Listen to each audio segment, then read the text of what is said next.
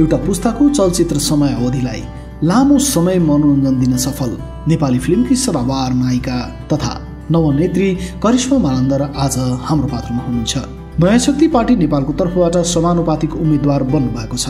नयाँ शक्ति पार्टीको सांस्कृतिक विभागकी प्रमुख तथा नेपालीजनको ढोक्कै नजिक आइसकेको प्रतिनिधि सभा तथा प्रदेश सभा निर्वाचन तथा निर्वाचन तयारी सम्बन्धमा आज हामी उहाँसँग राजनीतिक सामाजिक तथा परिवर्तनका विषयमा कुराकानी गर्दैछौँ।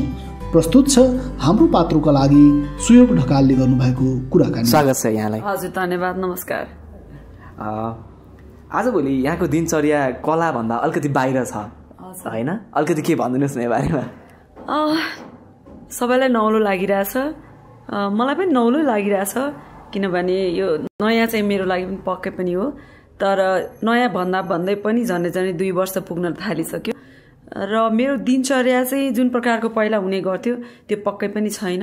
अहिले चाहिँ म एउटा नयाँ शक्ति पार्टीको लागि काम गरिरहेको छु एउटा अभियन्ताको नाताले। त्यसैले यो अलिक फरक छ कलाभन्दा अलिक फरक छ। हजुर। कस्तो छ दिनचर्या तपाईँको? अब पहिला चाहिँ सुटिङको स्केड्युल्सहरू हुन्थ्यो होला। अहिले अहिले चाहिँ अहिले भर्खर हामीले गर्दाखेरि पनि कहाँ बाहिर जाँदै हुनुहुन्छ भन्नुहुन्थ्यो। कस्तो बाहिर गइराख्नु भएको हुन्छ आजभोलि पार्टीको कार्यक्रमको सिलसिला हजुर। अब सुटिङको चाहिँ कस्तो हुन्छ भने सुटिङमा हामीहरू जब सेटमा जान्छौँ फ्लोरमा जान्छौँ हामी निश्चित हुन्छौँ कि हामी यही गर्नेवाला छौँ होइन? तय हुन्छ त्यो। यस्तो सर्ट हुन्छ यो लोकेसन हुन्छ हामी यहाँ बस्छौँ त्यो धेरै अगाडिदेखिको होमवर्क हुन्छ भनौँ न अपर्झट कमै चिजहरू मात्रै हुन्छन्। तर अब जब म पोलिटिक्समा राजनीतिमा छु यो यसमा चाहिँ कस्तो हुन्छ भने ठाउँ त निश्चित हुन्छ म कहाँ जान्छु तर कस्तो प्रकारको के के हुन्छ भन्ने निश्चित हुँदैन। म आइपरेका सबै किसिमका चाहिँ चिजहरूलाई मैले सामना गर्नुपर्ने हुन्छ र गर्नुपर्ने हुन्छ। त्यही हो। अनि कला र राजनीतिक क्षेत्रमा चाहिँ केही समानता पाउनु भयो कि यो यो नितान्त फरक कुरा हो जस्तो लाग्छ? समानता यसका एउटा कुरा चाहिँ नि एकदम समान छ। त्यो के भन्दाखेरि कलाकारिता पनि दर्शक जनताको निमित्त हुन्छ। अनि त्यो दर्शकसँगै हामीले डिल गर्नुपर्ने हुन्छ त्यो चिज लिएर।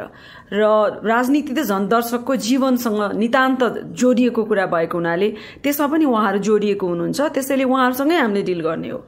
तर फरक चाहिँ के छ भन्दाखेरि कलाले मनोरञ्जन दिन्छौँ हामी। राजनीतिले चाहिँ उहाँहरूको जीवनमा परिवर्तन ल्याउँछौँ। त्यसमा फरक छ। हजुर। यो जीवन परिवर्तन राजनीतिको कुरा गरिरहँदा समानुपातिक तर्फबाट चाहिँ बन्द सूचीमा पार्टीले एक नम्बरमा चाहिँ यहाँलाई ठड्याएको छ। कतिको उत्साह थपिएको छ उत्साह म सुरुदेखि नै छु। जुन सोच लिएर डाक्टर भट्टराईले नयाँ शक्तिको जसरी उदय भयो त्यसमा नै म त्यसमा नै म एकदमै धेरै उत्साहित थिएँ। बाटो कठिन हुन्छ कुनै पनि यात्राको त्यो ठिक छ आफ्नो ठाउँमा छ। तर अहिले बन्द सूचीमा नम्बर वानमा आयो भनेर म त्यो एकदम उत्साहित जुन प्रकारले अरूहरूले एक्सपेक्टेसन गर्नुहुन्छ त्यस्तो छैन। तर के भन्दाखेरि आफ्नो नाम आउँदा एउटा मानवको स्वभाव हो खुसी हुनु स्वाभाविक हो। तर मेरो मेरो चाहिँ लक्ष्य भनेको बन्द सूचीमा आउनु मात्रै होइन। मेरो लक्ष्य भनेको चाहिँ नयाँ शक्तिको विचारलाई जनता सामु पुर्याउनु र नयाँ शक्तिलाई राष्ट्रिय पार्टीको रूपमा स्थापित गर्नु हो। त्यसैले यो ठिक छ। तर यो नभए पनि मलाई कुनै आपत्ति हुँदैन। यति धेरै पार्टीहरू थियो। नर्मली अब विश्वव्यापी परिवेशमा पनि एउटा एउटा एउटा क्षेत्रमा राम्रो गरिसकेपछि चाहिँ अनि पोलिटिक्समा आउने चलन चलिरहेछ। भारतमा हेरौँ होइन? अरू ठाउँमा पनि। यहाँले पनि एक ठाउँमा चाहिँ करिश्मा मानरलाई नचिन्ने एउटा पुस्ताको मान्छे नै छैन नेपालमा। अनि पार्टीमा आउनुभयो। धेरैवटा राजनीतिक धारहरूमा चाहिँ नयाँ शक्ति पार्टी चुज गर्नुभयो।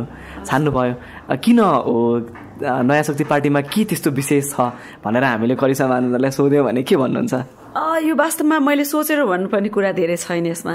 त्यो के भन्दाखेरि म फोर्टी प्लस उमन हुँ र यो मेरो उमेरमा मैले धेरै राजनीतिक क्रान्तिहरू देखेको छु र परिवर्तनहरू देखेको छु र राजनीतिक अधिकारका निमित्त नेपाली जनता लडेको देखेको छु। अब अहिले आएर हामी गणतान्त्रिक मुलुकमा छौँ। अब मेरो विचारमा चाहिँ अब सकियो कि? हामीले राणा शासन फ्याल्यौँ हामीले चाहिँ नि राजतन्त्र फ्याल्यौँ अनि अब अहिले हामी यो स्थितिमा छौँ। अनि त्यही पनि देश चाहिँ यही परिस्थितिमा छ। गरिबीको रेखा मुनि नै छौँ भने पछाडि अब चाहिने आवश्यकता के हो? यो हरेक नेपालीले एकैचोटिमा बुझ्नुपर्ने कुरा हो जस्तो मलाई लाग्छ। र त्यही अनुसार चाहिँ नयाँ शक्तिले अब चाहिने आवश्यकतालाई म अगाडि सारेको मात्रै हो। एकदमै सिम्पल छ। यसमा केही धेरै ठुलो कुरा छ होइन र त्यो हो भनेर म पनि यससँग आबद्ध हुन पुगेको हुँ। अब नयाँ शक्तिकै कुरा गर्दाखेरि चाहिँ आँखा चिन्ह बोकेर चाहिँ नयाँ शक्ति पार्टी जनताहरूको घर दैलोमा पुगिरहेको छ अहिलेको निर्वाचनमा होइन? जनताबिच चाहिँ आँखालाई चाहिँ कसरी राख्दै हुनुहुन्छ? आँखाले के के कुरा बोकेको छ यसपाला? आँखा भन्न साथै साथै यो आफैमा गहन शब्द हो जस्तो लाग्छ। किनकि यसले संसार देखिन्छ। होइन? हामीसँग भएको पाँचवटा सेन्समध्ये एउटा यो हो नि दृष्टिले हामी संसारलाई हेर्न सक्छौँ होइन?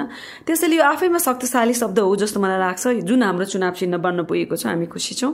र त यो प्राप्त गर्न हामीले धेरै सङ्घर्ष पनि गऱ्यौँ होइन? हामी खुसी छौँ।